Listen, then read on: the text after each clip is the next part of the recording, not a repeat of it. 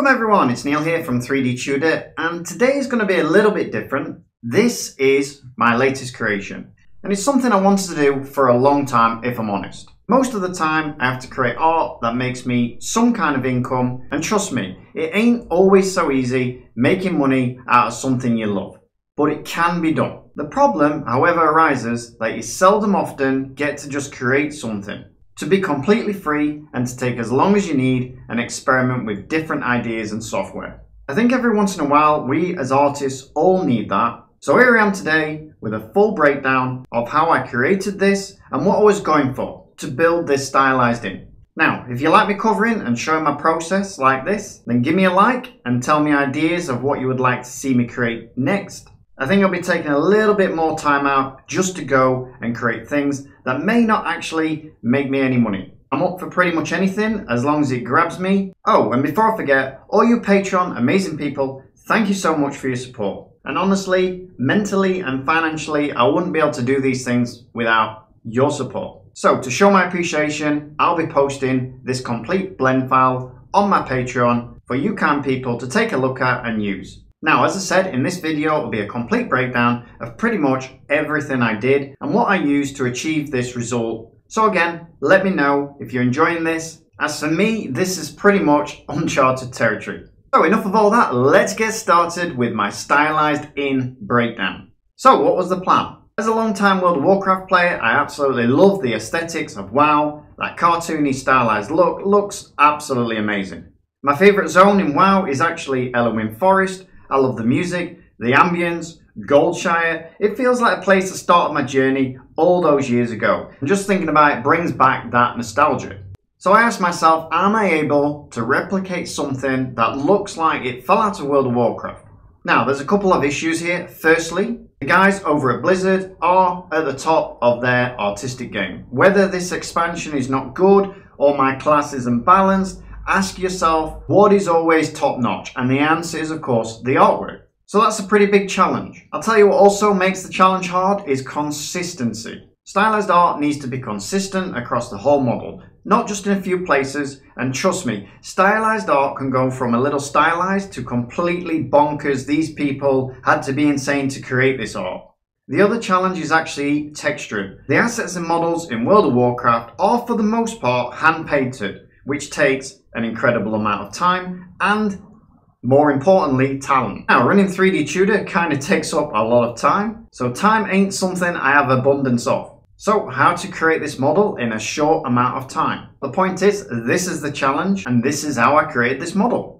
Now, it's all good and that, showing this model like it is, fully rendered out, all the textures on, blah, blah, blah, everything looks really nice, but how did we actually get to this point? So the first place I'm going to begin is actually the base model. So let's head over there now. So here we are on the base model. Now, pretty much everything in here, there's nothing really that sophisticated, but I will go over a few things. So first of all, the sign. What I did with the sign is I actually created the artwork myself and then I went in and actually cut that out of the artwork and then obviously I triangulated the faces just to make it really fast so that I can actually uh, get this out as quickly as possible. Now the thing is, many things on here, I have cut a lot of corners out because I knew that I just wanted to see if I can create it. And also, as I know, it's probably going to be a portfolio piece. I don't really need to think about optimization as it's going in the games engine with lots of other assets and things like that. So there's also that to take into account. The main thing is though that I still don't want any n-gons or um, uh, rubbish um, mesh and things like that, or things that aren't together, because I still at the end of the day have to take it into ZBrush and I need to take it into Substance Painter. And if you're taking it to any of those, you might as well make sure that the topology is workable. And in most cases, I've made sure the actual topology is good.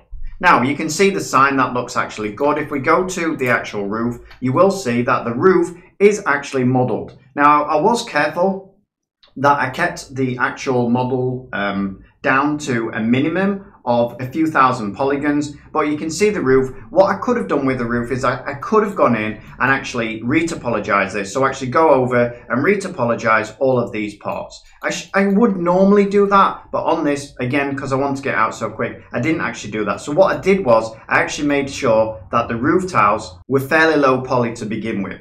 But how did I create these roof tiles? And that is a good question. But before we actually go into how I actually created them, I actually did the brick wall pretty much the same way. And you can see I've got bricks around here that I've also done the same way.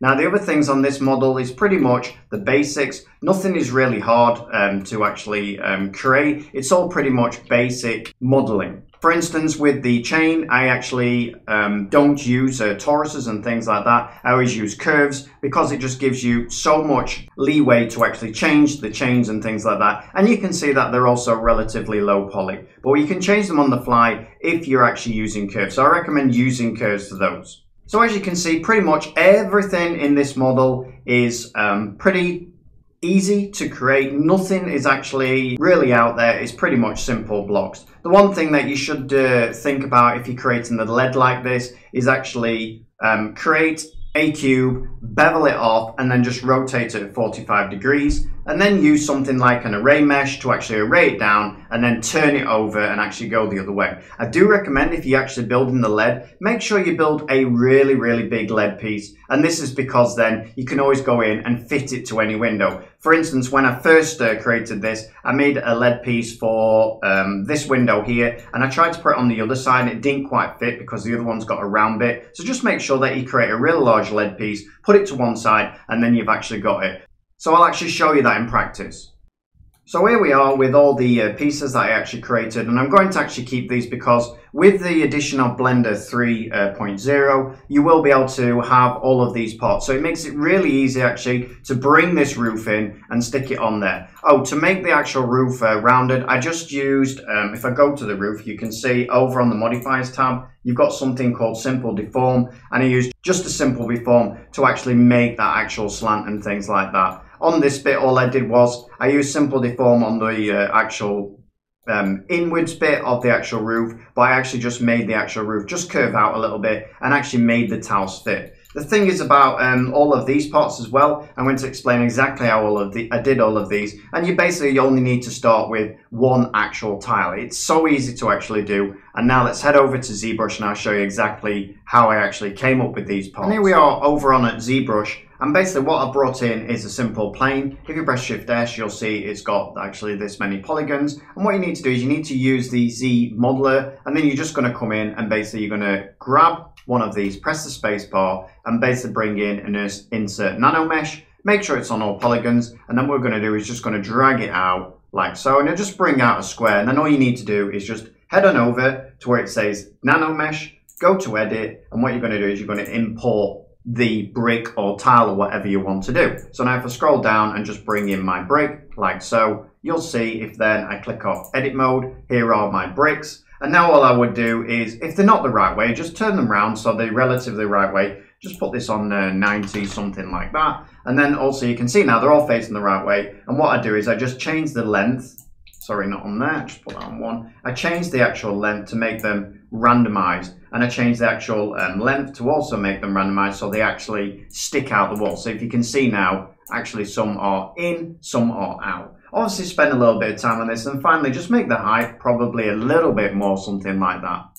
And then all you need to do is you come over to geometry, convert BPR to Geo, and there you go. There is your actual model. Now you need to do is just export it out and then you can just bring it into Blender. So let's head on and back over to Blender. So here we are back on over to Blender. I basically brought it in and what I did then is just took a little bit of time just to make them all in place. So I basically moved them up by grabbing them and just putting them into place. Now, before we carry on, if you're really interested in the things I do and you're really interested in the breakdown here, then check out the links down below because within those links, you're going to find a ton of courses that really are going to help take you from beginner to modeling at a professional level. For those of you that join my Patreon, you'll receive these courses absolutely free every single month. Now, if you like this stylized look, we have things like the cannon, we have things like the stylized water scene, and the pumpkin carriage. The cannon, where we go through everything from Blender to ZBrush to Substance Painter to Marmoset Toolbag. The stylized water scene, where we actually create a full scene using just Blender's node system. We have the pumpkin carriage then, which I know Halloween's gone, but we really actually focus down on that spooky atmosphere and things like that. For those of you that want some shorter courses, we have the Hobbit Door, we have the uh, brand new Gallows and the Medieval Market Stall. That's the latest release. The Hobbit door is just a real simple Hobbit door which we actually take into Photoshop and actually try and blend it in so that it actually looks realistic. Whereas the Gallows and the Market Stall, the latest courses, are short courses to actually get you to create an asset and actually get it into Unreal Engine 5. The Gallow pretty much focuses on animating, swinging rope and the trapdoor that opens up and the Medieval Market Stall we take a look at things like the cloth simulator and particle systems to create fruit and things like that. If you're interested in sci-fi things, then we have the sci-fi door and the actual lightsaber, which really, really focus on that aesthetic of sci-fi. If you're interested in building something really realistic, then there's a windmill course where we actually create a fully working windmill. It's a fairly long course and you go from the whole process of creating an asset, getting it to be animated, putting on all the textures, and then taking it into Unreal Engine 5. It's completely based in Unreal Engine 5 and actual Blender. And finally, the last one I want to talk about, which is the bestseller, is the Medieval Castle. So why is it a bestseller? Well, because we actually create a full working modular system. You'll create all the tiny assets and all those assets are designed to be put together, come together and create vast castles for your portfolio or your games and things like that. So now I've explained a little bit about the amazing courses that you can go and check out in the links down below and now let's get on with the show. So what you can see back in Blender is that I actually brought Nanomesh that I'd actually converted back into Blender and then what I did is I simply came in and actually just pulled these together and made them um, basically I pulled everyone to the side is all I really did because they were already randomized on the sides and things like that and I just got them into the shape that I needed them. I created a fair few making sure that I can actually use this any part of this wall as many times as I want in my actual uh, models. You can simply do when you've done that, just retopologize the parts that you put in there if you want to save and optimize it for a game or something like that. The same thing happened with the, uh, the small bricks and the actual tiles for the actual roof. The tiles for the roof, what I did was before I sent it through to uh, ZBrush, I actually just lent it up a little bit, making sure that they went under each other. I basically just did an array mesh going this way, an array mesh going this way, and then just tilted them up and made sure that they're all level. And then finally I sent through this one tile again through to ZBrush, making sure that all fitted together. Now there was a case where some of the tiles when I'd sent through to ZBrush, you can see one here for instance, where they're actually um, inserting in each other and you're going to get that. So all you need to do really with the tiles, I didn't actually have to move the tiles or anything like that because I didn't really move them out in place as much as the bricks or anything like that. All I had to do was just come in and just edit a few. You can see I've missed one there, but when I actually put them on the roof, I made sure they're all actually perfect. And again, this way of doing it, you can retopologize really, really easy. I will say that if you're going to retopologize this, what I would do is I would retopologize the ends of the roof. So go around these ends, but leave the actual um, bottom of the roof, for instance. So just have a plane going over here pretty much, but these take some work on. It will really reduce the amount of polygons you've got and it'll make it look really, really nice because you'll still have all these little edges at the edge of the actual building. The lead, as we talked about, I basically came in, and the last thing I did with the lead is when I'd actually uh, created it, I actually came over. So when I turned them round onto each other, you can see how they're actually joined. I did that by coming over, going to remesh and actually voxel remeshing them at something like 0.015, something like that. And basically what that did is it joined them all together. Now this did create a lot of polygons. So what I did finally in the end, I just came over to my modifier and actually decimated that down just to actually get them to a kind of uh, working polygon level that I could actually take through to Substance Painter or something like that if I needed to without actually retopologizing. Now what you could do on these um, if you actually don't want to retopologize them, you could actually come to the side. So if I press one here, you could get hold of the um, the bisect tool and you could just bisect those down, leaving the tops of them because they're going to be pretty uh, low poly anyway. You can see at the moment these are 9,000. Remember though, they're going to be cut up to actually put on the windows and by the time you split them off, they're just going to be 4,500 polygons, which isn't really a, um, that much. So we're probably talking per leaded window, probably 800 polygons or something like that, which is fairly low. I mean, even if you came in and retopologized it, you probably could get down to two or 300, but the time saved doing it this way, um, for me, saved me a lot of time, so that's the way we did it. Now, let's head on back over to ZBrush to show you what I did with the sculpting. So here we are on uh, ZBrush and basically this was perhaps the longest process because one thing you need to make sure that you get right is all of the wood. So what I did was I actually came and use mainly the actual trim dynamic to actually go along the sides of the wood, making sure that they're nice and beat up, and to actually make the ends of the wood I use one of the Blizzard tools, which if we go to um, alphas, let's have a look. Let me just click on alphas, let that load up. You can see here that I have Blizzard brushes, and one of those Blizzard brushes is actually called the Orb Curve. The Orb Curve is what I use to actually make all of the uh, little grooves in my wood and things like that. And I think on the actual um, tiles, I use the uh, Dam Standard with a pretty low setting just to get these uh, little grooves.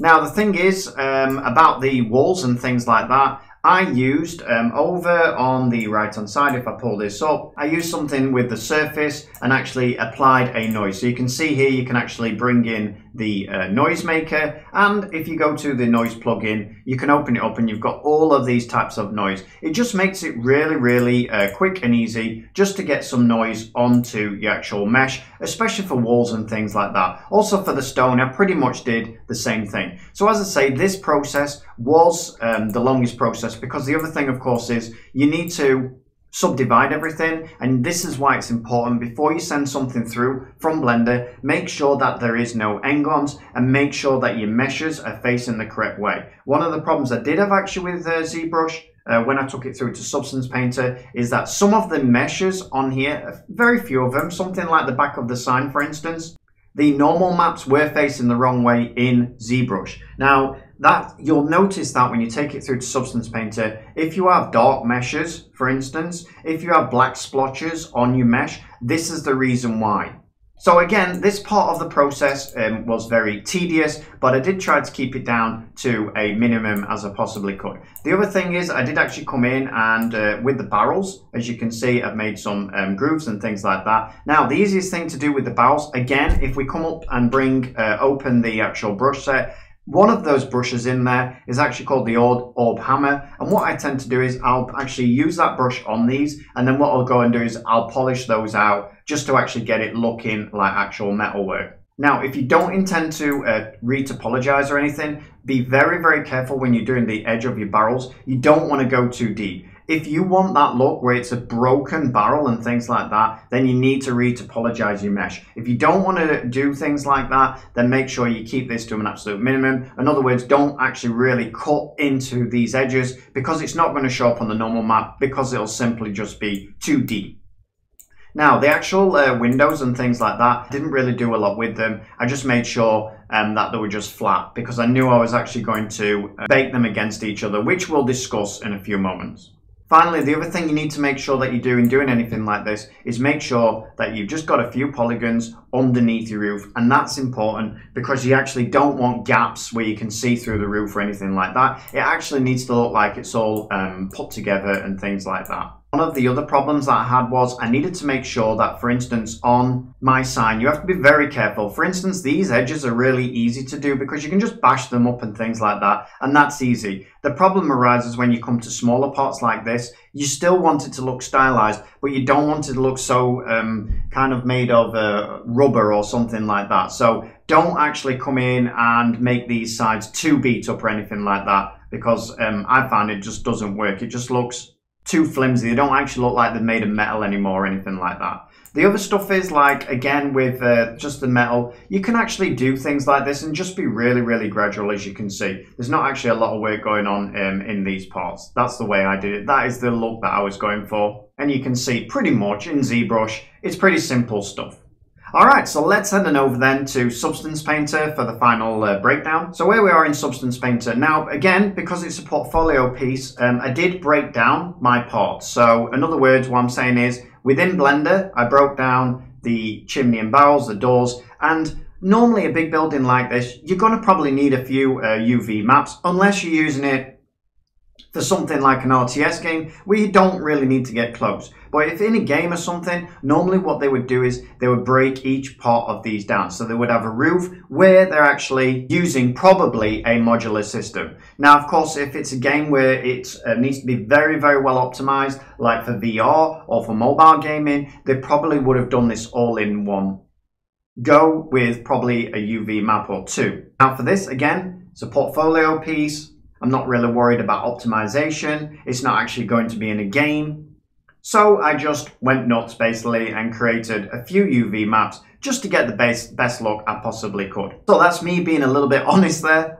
Now there was a game a while back called Batman where it was so badly optimized because they used something like 8 or 10 uh, UV maps on just one character. So it does show you that if you're thinking of doing something for a game, try and use probably three or four UV maps for something like this.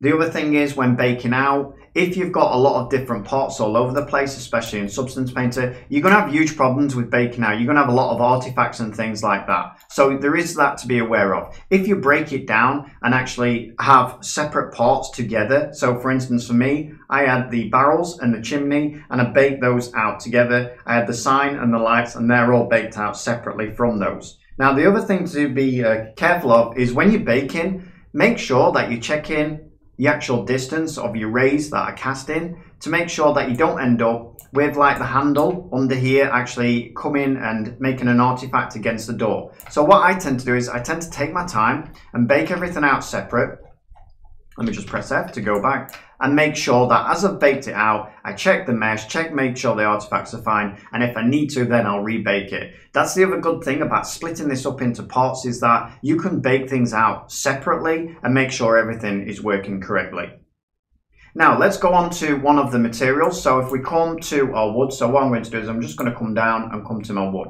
Now the thing is when you're uh, working um, with Substance Painter, for instance, um, it's really good if you can learn how to build up your materials and things like that. So you can see this is one of the folders where one piece of wood is actually in. And you can see that I've got all of these actual um, layers actually within there. So the more you get to learn to know Substance Painter, the better you will be at creating layers and understanding exactly what these things do. So for instance, we've got a base um, pattern, that is the base of everything. And then we've also got a levels on there to control, for instance, if I click on this, how dark or light the actual wood is. And you can see the wood's actually changing here and things like that. We're then moving on to our edges. So we're looking at things like the lightness in these edges here. We need to really make them pop in some way, but you don't want to make them pop so they look like metal. So you really need to think about how to make these edges look that way. And you can see here there's a bit of variation on the edges. I always tend to do this if I'm doing edges. I'll make variations so that the wood looks different going all the way around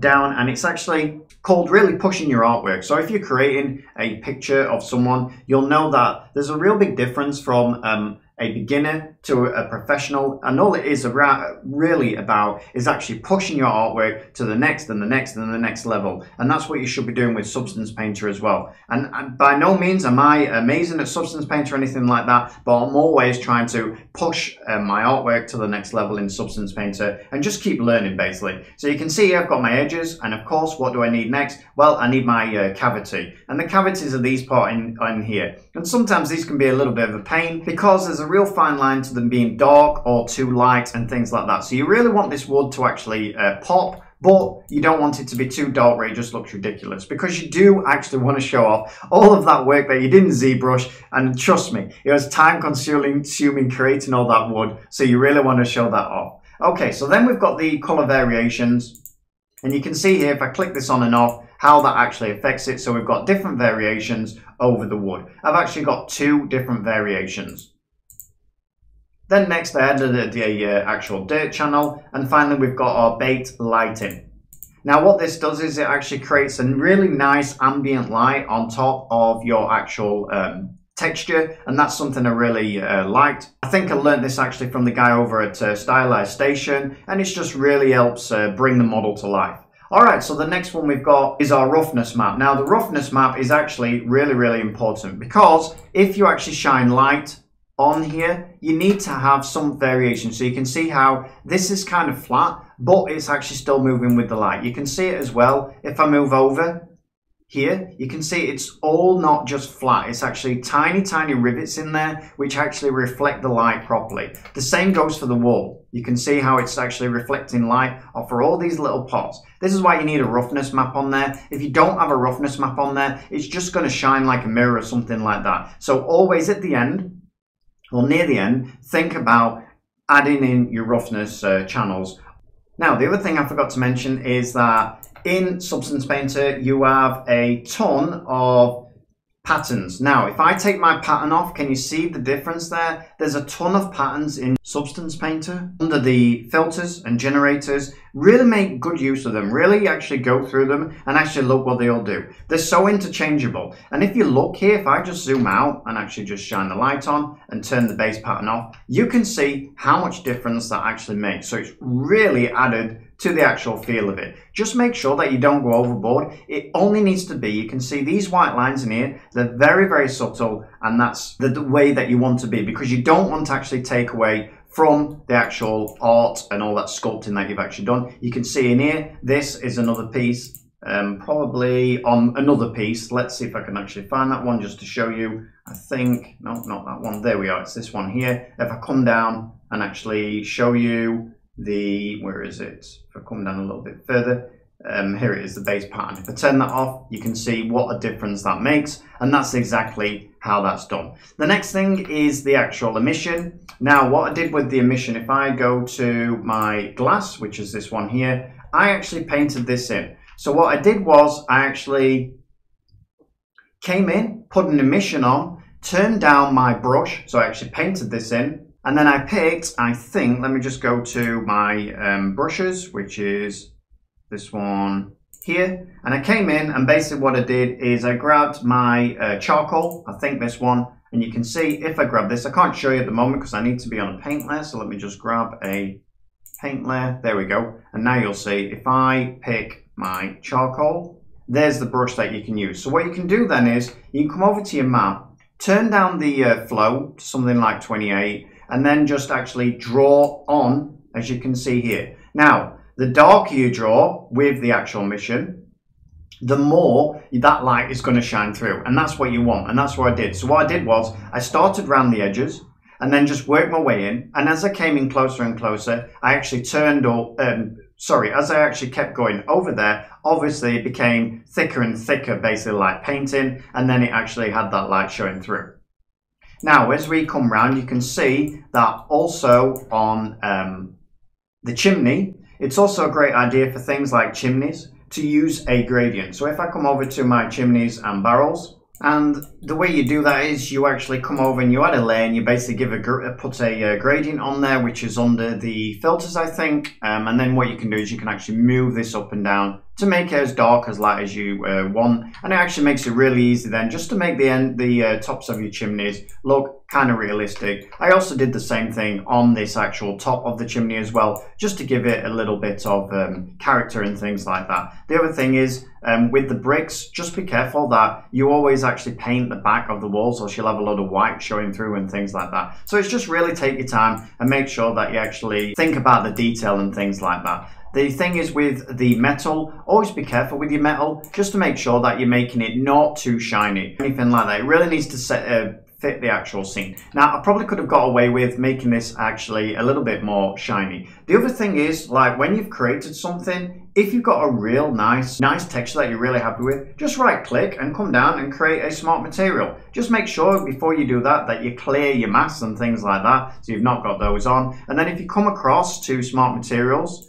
and I will just show you that I have a section called stylized materials and you can see here that these now are all ready to be actually thrown on which means that when I come to create something in this aesthetic that if you think about in Blender I've got the tiles I've got the uh, the roofs I've got the stone I've got the bricks and they're all laid out ready for me to use again um, in ZBrush, I know I've got all my brushes set up, so I know exactly where I'm going to go with those. And how to create all those things. And finally, in Substance Painter, I've actually got all of my actual um, substance smart materials actually created, ready to go and ready to drop on. Which means that if I was to create this again, it's going to perhaps take me a, a, day, maybe a day and a half, something like that. The other good thing is, let's say I want to create a blacksmith um, building instead in this aesthetic, it means that all of those things then are ready. And apart from adding things like uh, pliers or anvils and hammers and things like that, I'm actually ready to go and I can reuse these.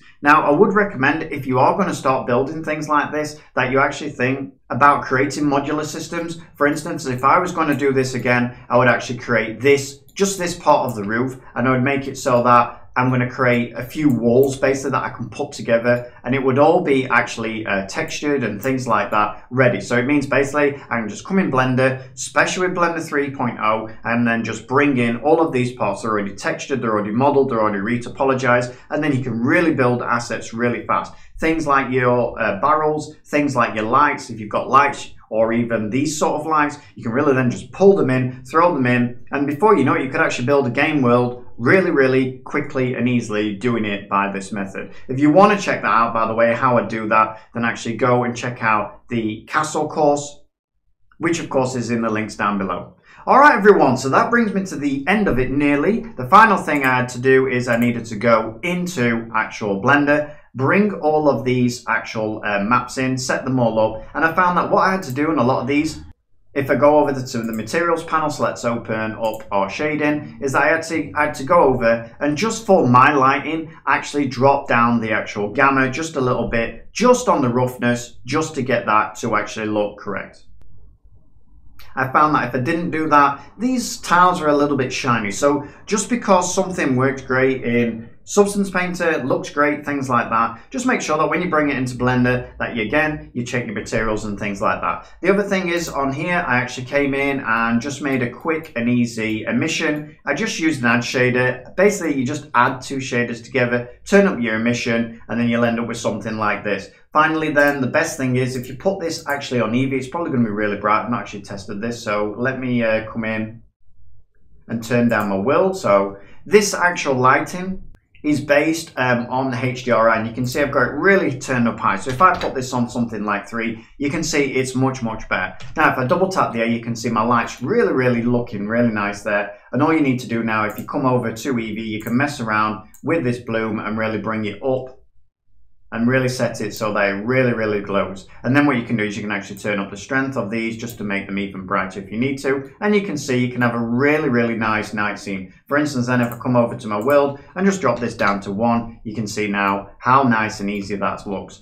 Now, the actual gradient on the back, all I've done there, if I zoom out, I'll put it onto object mode. I've just made a bowl um, with a cylinder, brought the edges up, and then finally just beveled off these edges. And it gives an actual real nice gradient. I didn't work too much on this. I probably should add a material where the gradient looks a bit better. It looks a bit um, kind of uh, too uh, stark of a contrast. All right, everyone, so that's the breakdown for the stylized inn, and I really hope you enjoyed this. I'm not sure if you're going to enjoy this or not. Um, let me know what you think in the comments below. Give me a like. And actually, if you want me to create a course like this, then let me know. Because the problem is that it's across multiple actual softwares. And I've generally found that my courses don't do that well when they are across multiple platforms. So if you would like to see something like this just created in Blender, Again, it is a take on my um, Medieval Inn, the realistic Medieval Inn. This is a stylized version of it, and it's a take on Goldshire, if I'm actually honest, just a little bit there. Okay, everyone, so I hope to see you in the next one. Thanks a lot. Happy modeling, everyone. Bye bye.